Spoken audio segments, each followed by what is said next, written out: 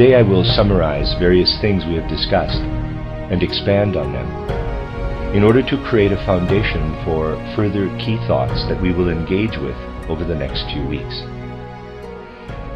There are two forms of consciousness familiar to all dream consciousness and ordinary waking consciousness. In spiritual scientific research, a third form is added, which we call clairvoyant consciousness. We regard dream consciousness really only as a kind of interruption of our continuity of ordinary awareness. And this is because we do not remember our dreams very much. In fact, we do dream continually while asleep. The content of our dream life that we are aware of only makes up a part of our total dream experiences, the ones we recall when awake. Spiritual science therefore teaches that we possess three levels, or also three modes of consciousness dream consciousness, ordinary waking consciousness, and clairvoyant consciousness, which gains access to the supersensible world.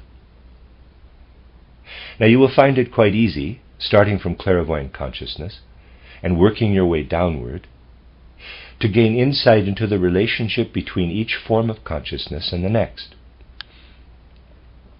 Dream consciousness gives us images. We know that our dream experiences are in images and that they cannot easily be integrated into the causal sequence of our daily life. If you were to mingle dream life and waking life, you would become a fantasist. Thus, in our dream experiences, we have images that are at odds with what we call daily reality. If we now consider the relationship between ordinary waking experiences and the content of clairvoyant consciousness, we find something very similar. You see, what clairvoyant consciousness experiences as spiritual, supersensible reality leads it to regard the experiences of our waking life as image. I'm going to read that again. You see, what clairvoyant consciousness experiences as spiritual, supersensible reality leads it to regard the experiences of our waking life as image. In an awakened, illumined state in clairvoyant consciousness, we can say that we experience true reality. And that in contrast to this, what we otherwise call reality is only a sum of images. Expressing this in an abstract way, as here, has little value. It is true that many are quite content to express these things theoretically and think that this in itself will solve great riddles of the world, but it won't. Such things only have value if we engage very practically and specifically with them, though this is only possible in particular areas. One such area, the human being himself, has been the repeated subject of our reflections, and must be so if we are to make progress in the science of the Spirit. The human being is a field of study very close to us, of course, and yet often so far removed. Although people are unaware of the supersensible aspects of the human being, they believe that they know about our physical nature. But this too is true only to a limited extent. Ordinary anatomy and physiology are fields of study fraught with countless illusions. Today, if only apparently, we will start from the outward form of the human being, highlighting this threefold nature as I have often described it. If we study the human being in relation to the supersensible world, but as image rather than reality, in terms of mainstream anatomy and physiology, we find that his outward physical form can be divided into three very different parts the head system, the aspect chiefly concentrated in the head, the trunk, and the extremities or limbs. In respect of the latter, though, we have to see that this third part of us does not consist only of arms and legs, but also that these limbs have an inward continuation. Let us consider these three systems first of all which together compose the whole human being. In fact, we ignore supersensible reality in a way if we only consider these separate systems as three parts of a whole, for actually each is very distinct and separate. The diverse powers, or let us say currents of energy that share in forming their different shapes, come from very different directions. If we study the human form with powers of supersensible perception, the powers forming the head have to be seen as originating before birth or conception. To study the head, we have to delve backward into the world of spirit rather than into the stream of physical inheritance.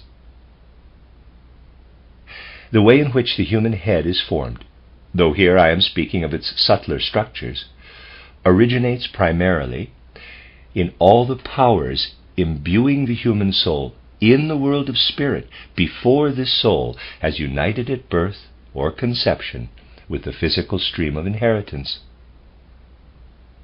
The head is chiefly formed not so much by a person's experiences in a past life, nor his outward form then, but by actions he has done, his deeds, and to some extent also his feelings. When supersensible knowledge develops to the point where we gain insight into a form, such as a particular person's head, we can start to look back from this to his last incarnation. We touch here on extremely significant secrets of human development. Far more than is apparent to initiates of a less advanced kind, the form of the human head is, is connected with a person's karma and the way this develops from a previous incarnation. We will bypass the trunk system for now and consider our extremities, albeit with their continuation inward. By no means are these extremities shaped in as individually specific a way as the human head. Each of us has a distinctive head because the latter points back to former lives on earth. The organization of our extremities, on the other hand, with which the sexual organs are also directly connected, points us forward to subsequent lives on earth. As yet, everything in this system is undifferentiated. The sole correlation to this organism points us toward future lives. Reader's aside, soul is S O U L, end of reader's aside. It is also very important indeed to consider the trunk organization, which is an interplay of powers at work in the human spirit, both before birth and conception and after death. That is, between death and a subsequent birth. In other words, what encompassed the soul during the period between our last death and birth or conception works together in us with what will encompass and surround it between our next death and subsequent birth or conception. These two aspects interweave, acting within the human trunk and becoming especially apparent in the most salient aspect of the trunk organism, the breathing process. The out breath is primarily an image, and here again I'm using the term image, of what the soul experienced from its previous death through to its latest conception, while the in breath is a picture of the powers around and within the soul between our next death and the following conception or birth. These are tangible distinctions. What ordinary anatomy and physiology lump together as aspects of the human form, with head, trunk, and limbs all similarly composed of nerves and blood vessels, is distinguished carefully by supersensible insight ordinary anatomy and physiology, believes it is dealing with immediate realities, whereas our science of the spirit regards the shape of the head as an image of the deeds and feelings of a past incarnation. It sees the out breath, which is slightly different in quality in each person, since the breathing process, like the head, is individual in nature as an image of the powers that enfolded the soul from our last death through to our latest birth. And the in breath as an image of powers that will enfold the soul between our coming death and the following birth. In the process at work in our extremities, we already have an image of our next life on earth. Thus, in the same way that our waking life is interwoven with images when we dream, the magnificently expanded supersensible life to which clairvoyant consciousness gains access is pervaded with images too. But these pictures are the reality, in quotes, given to us in ordinary waking life. Every subsequent set of phenomena, starting from clairvoyant consciousness, can be seen as pictures at the next or lower level.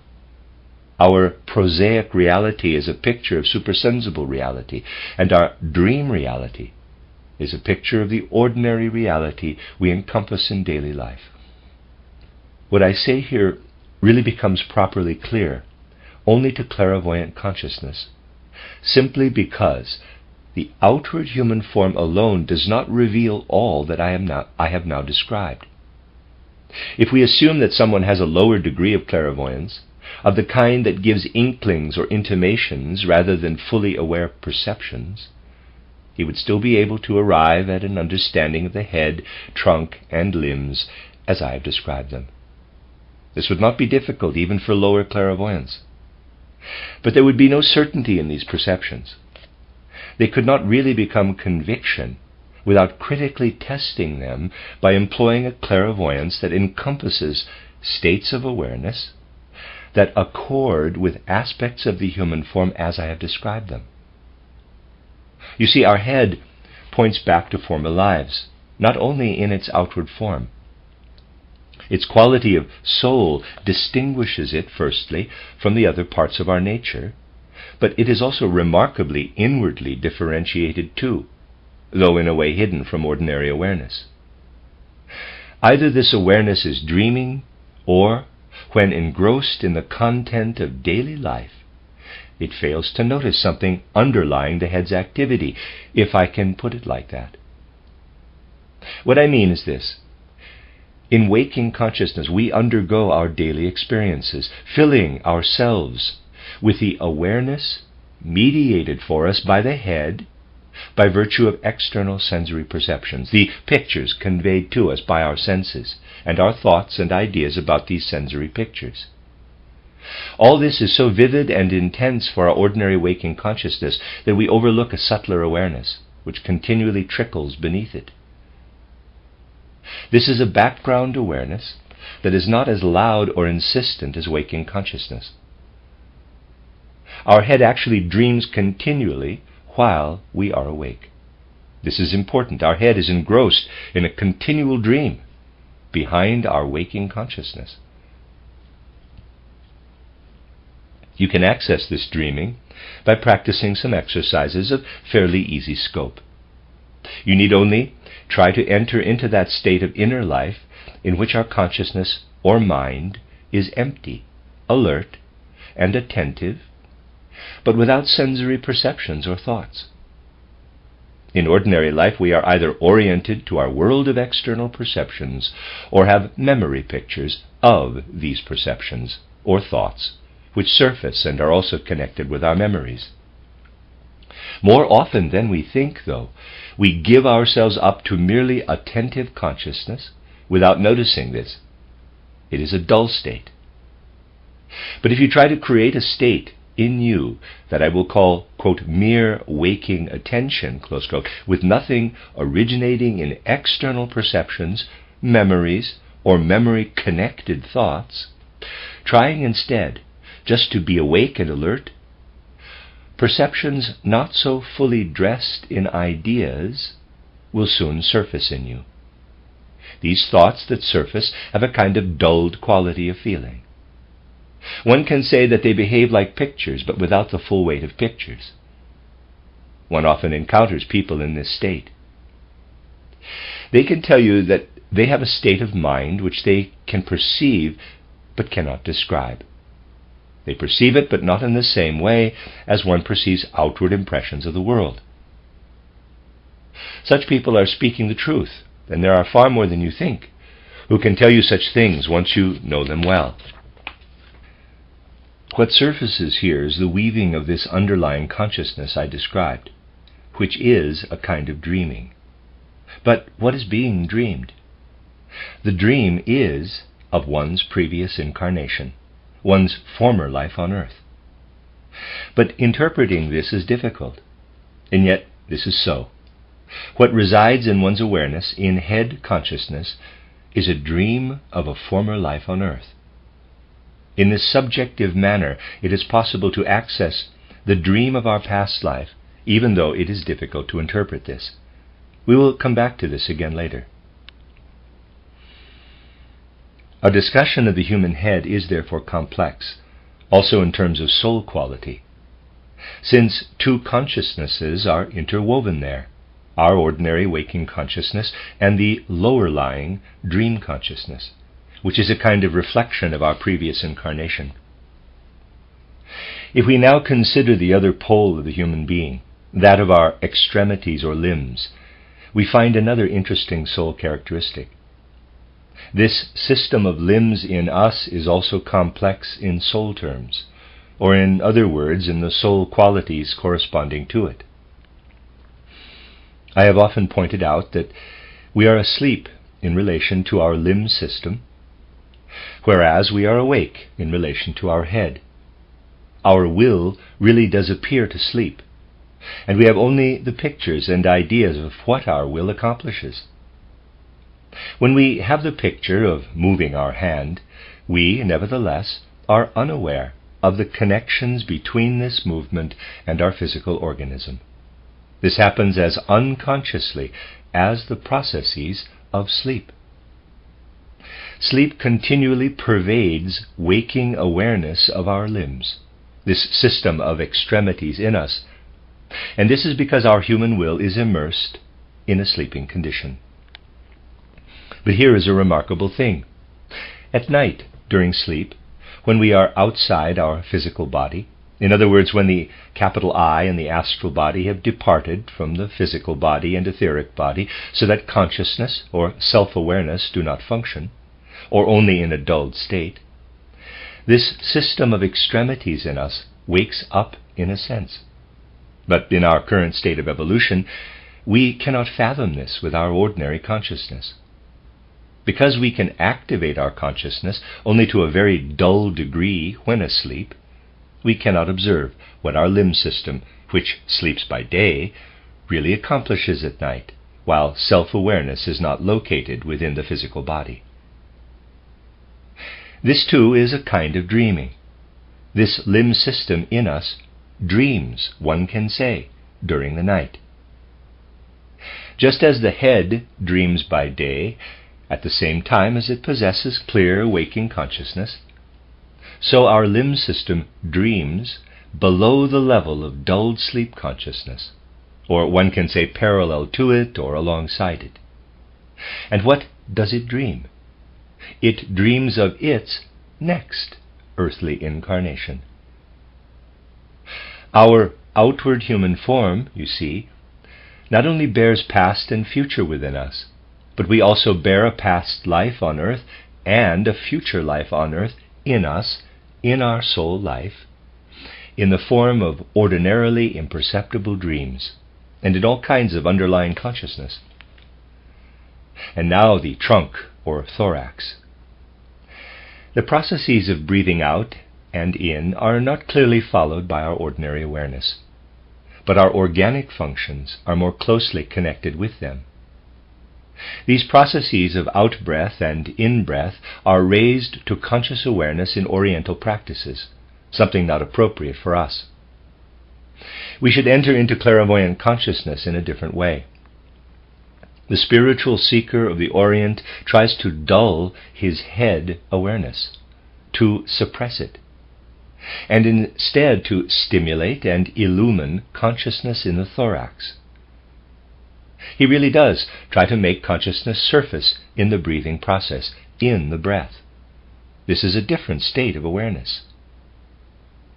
By becoming aware of how the breath breathed in streams to the organism, and the breath breathed out streams forth and leaves the body, he raises into conscious awareness what otherwise remains very unconscious. This induces in him a state in which he has a very clear awareness of something of which the breathing process is an image of life in the world of spirit between death and rebirth. For many people in the Orient, it is no theory, but a certainty, and this is partly why people of East and West fail to understand each other. That a soul spiritual life precedes birth and follows death. This is as certain for them as you are certain that after walking for a while you can stop and look back and see the distance you have traveled.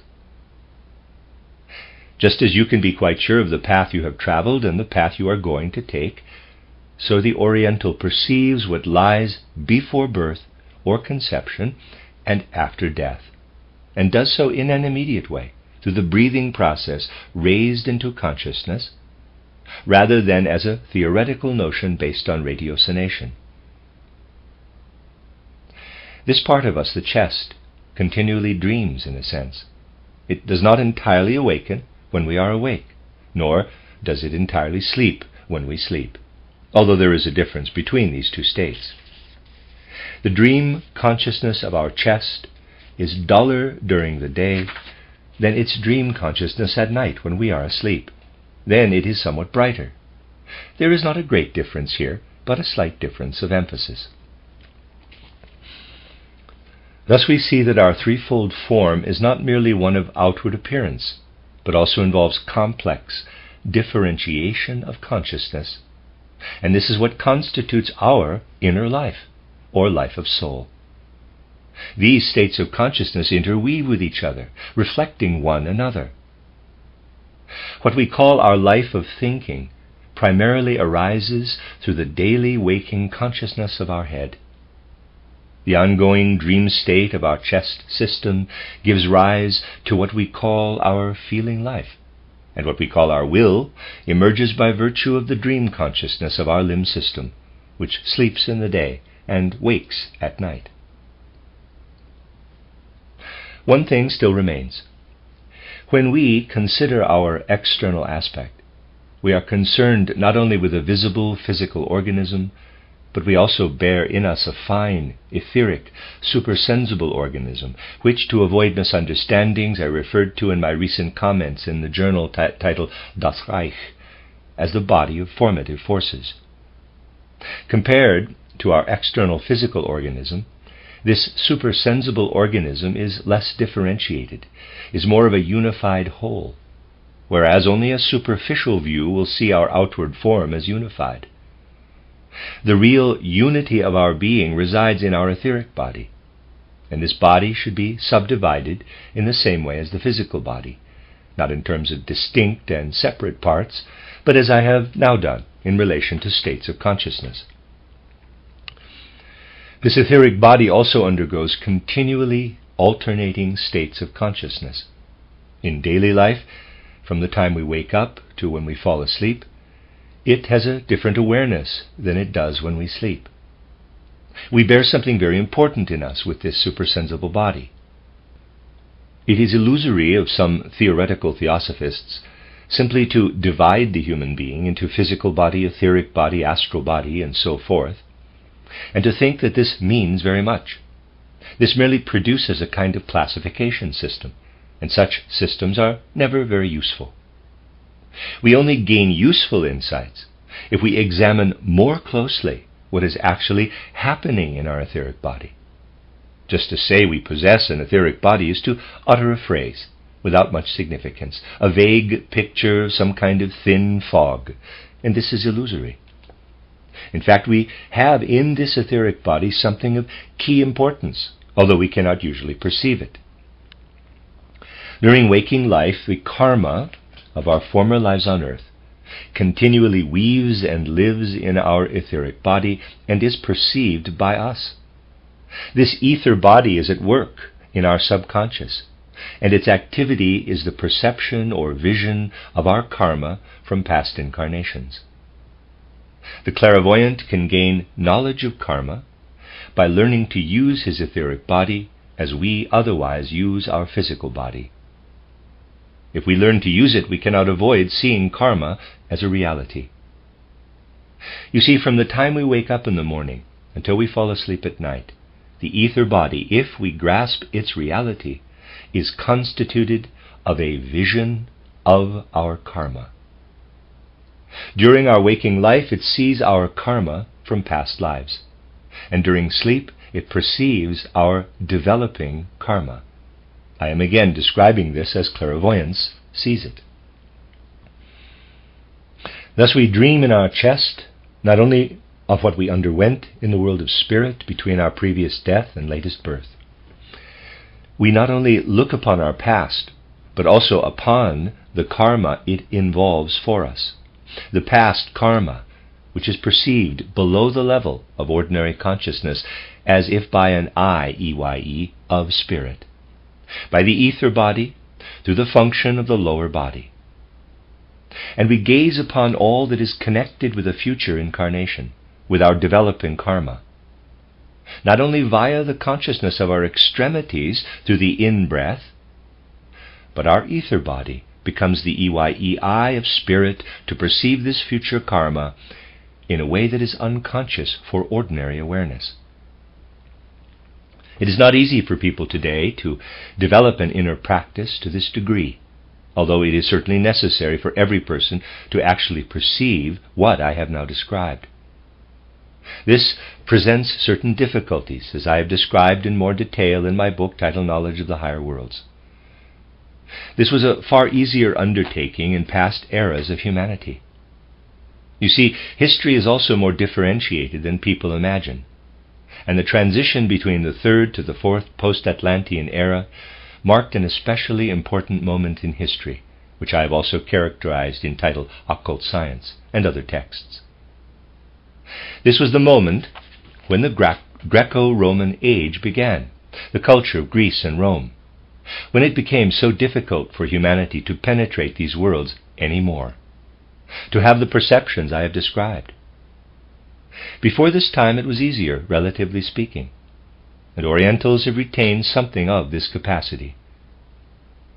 People in the Occident no longer possess it and are therefore unable to engage in the kinds of exercise practiced in the Orient. Instead, they must turn to those described, for instance, in knowledge of the higher worlds.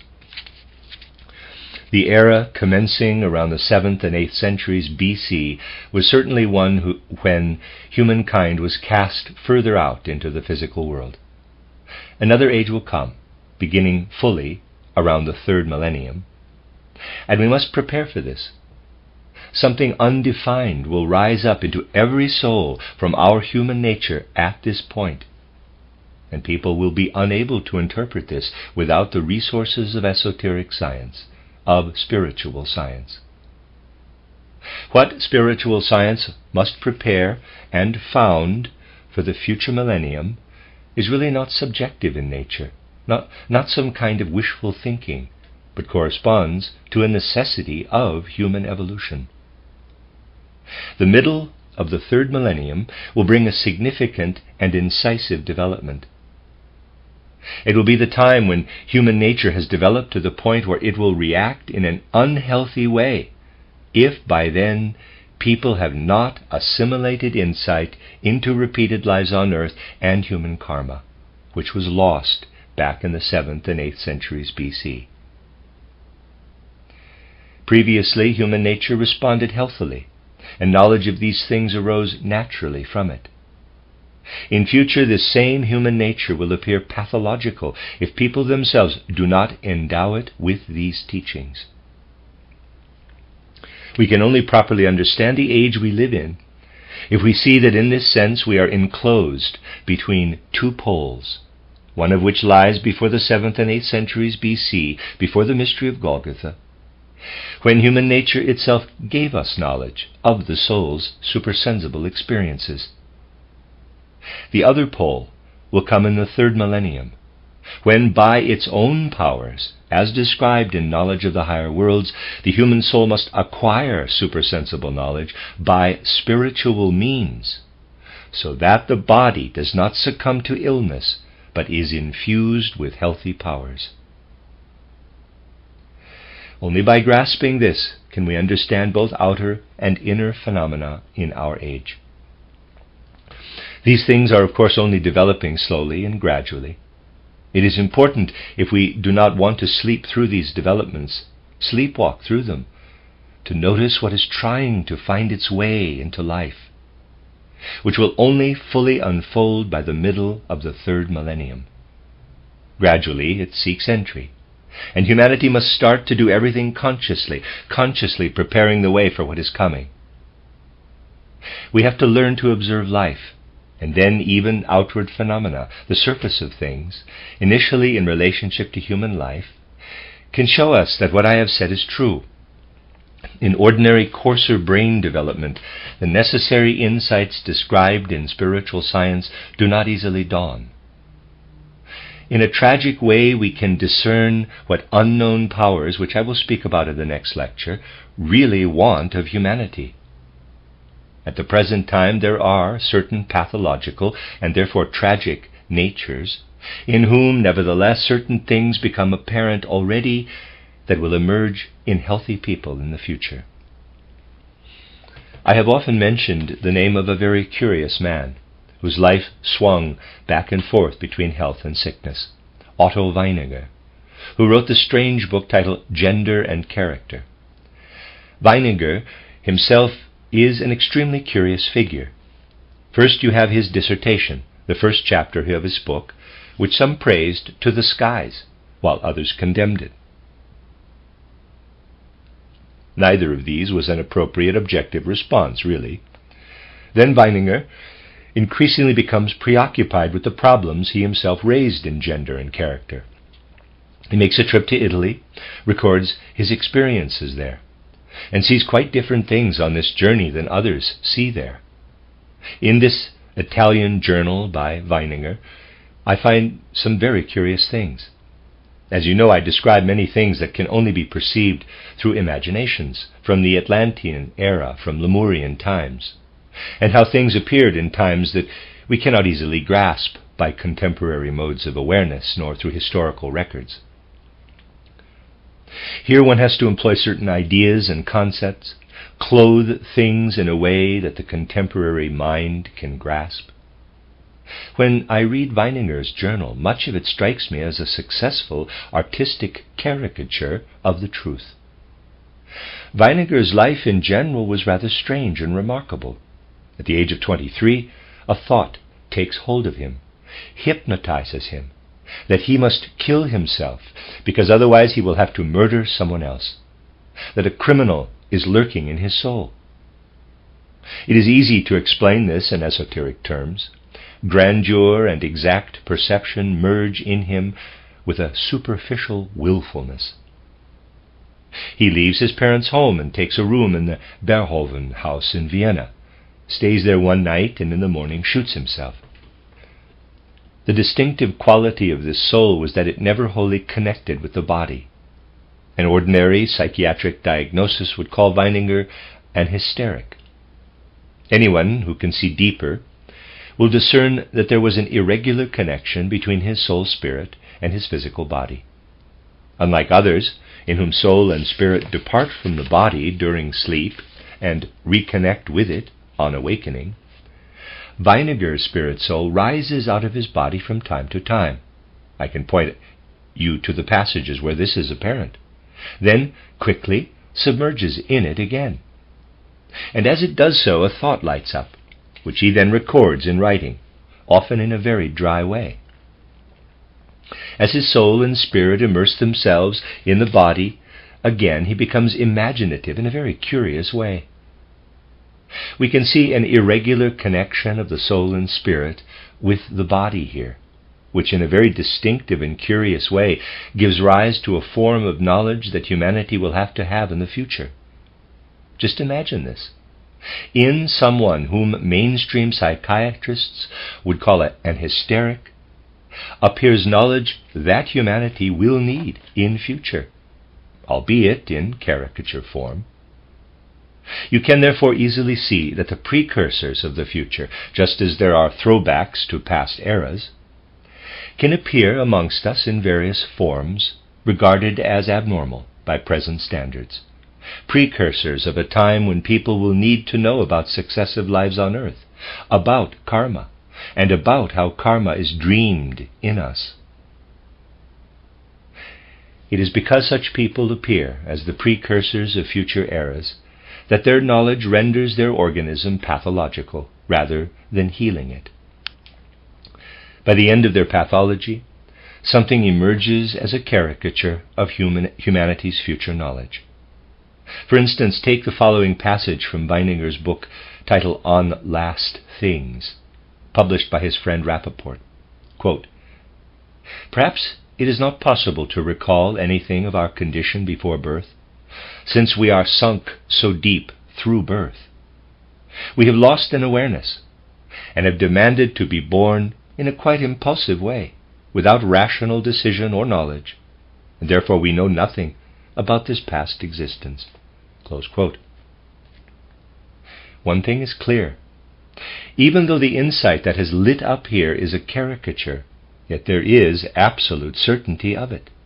That this person emerged at birth from a spiritual state where he existed previously. If anyone had written this in the 10th or 12th century BC, or even at the time of origin, there would have been no reason to wonder at it.